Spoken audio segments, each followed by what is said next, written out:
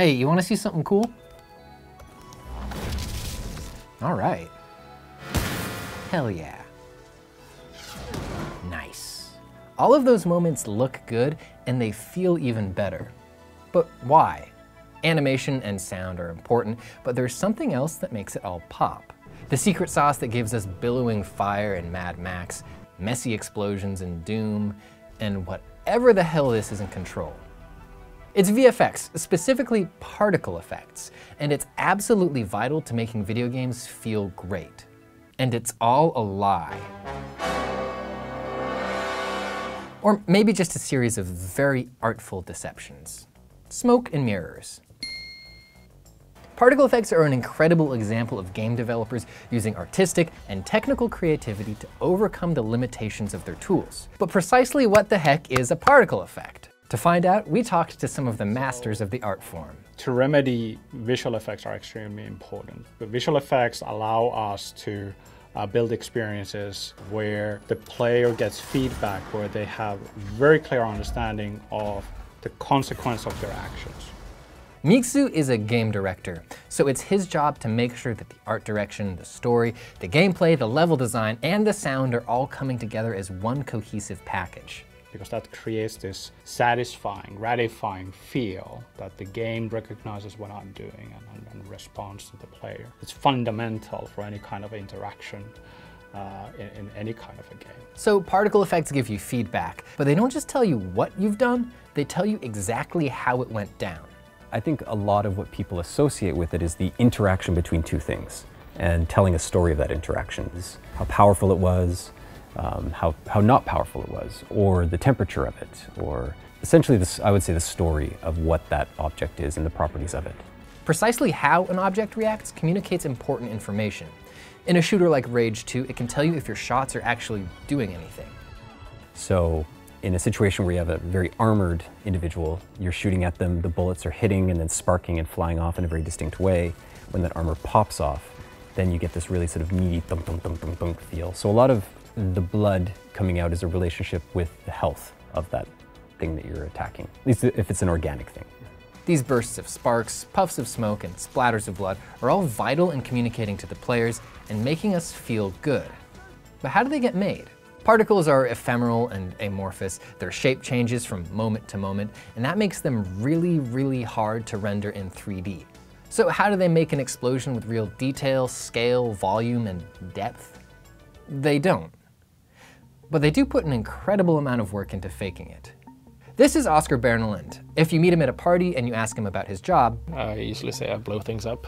And he does that with the help of particle effects. A particle effect in its basic form is a physics simulation where we then put image images on top of different points that are physically simulated to create the sense of giving a volumetric effect. So for instance, most explosions are just billboards, which is just it's a flat surface. It's a flat square that's being put on a point and then being moved through space. So this is how games trick you into thinking you're seeing an explosion. If you saw it from an angle, you'd be able to tell that it's flat. So to avoid that, the particles are automatically oriented towards the camera. And this solution works for all kinds of stuff, depending on what we attach to these invisible points.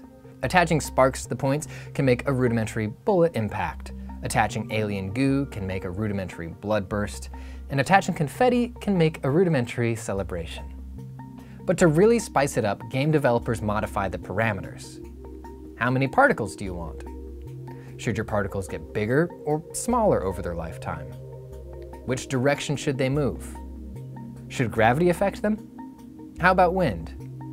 How quickly should they fade away? And what about the particles themselves?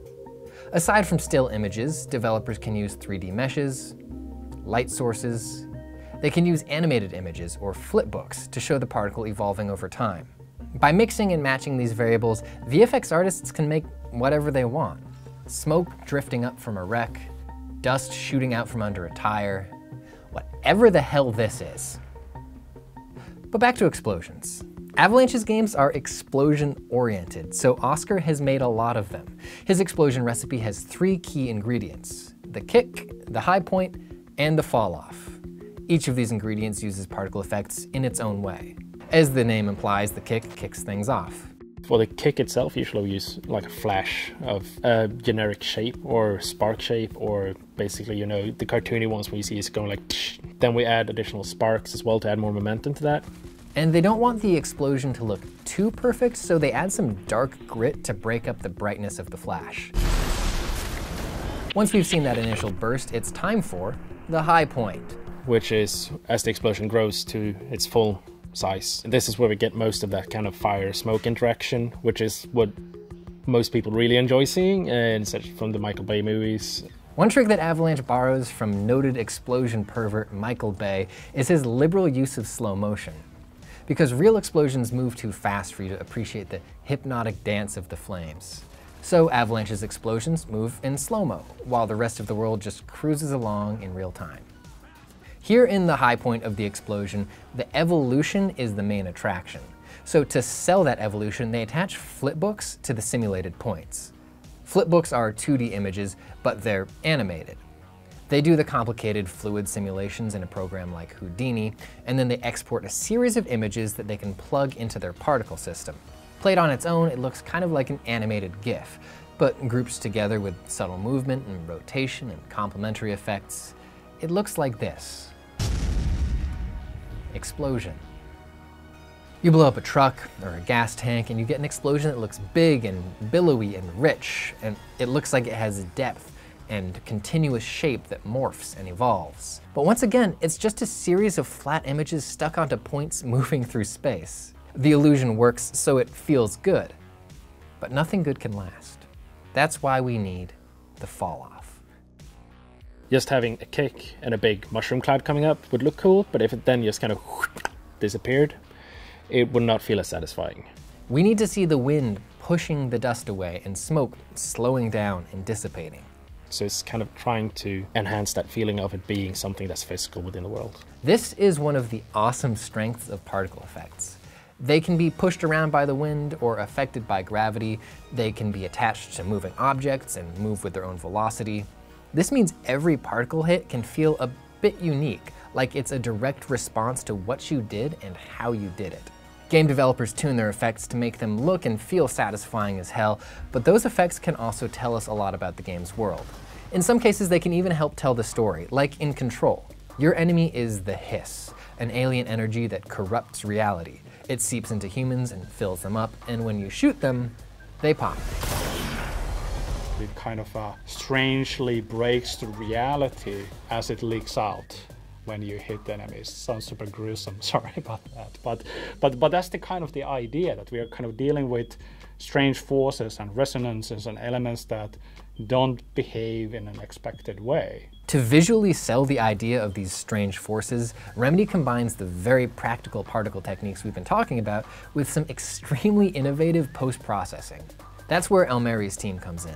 So we take, for example, an enemy and we take information from the previous frame, we reproject it from the position of the camera in the next frame and kind of draw this uh, trail of the enemy. But that would be boring to look at, so uh, then it gets advected with the fluid simulation, and then after that it gets uh, broken into the colors of dispersion.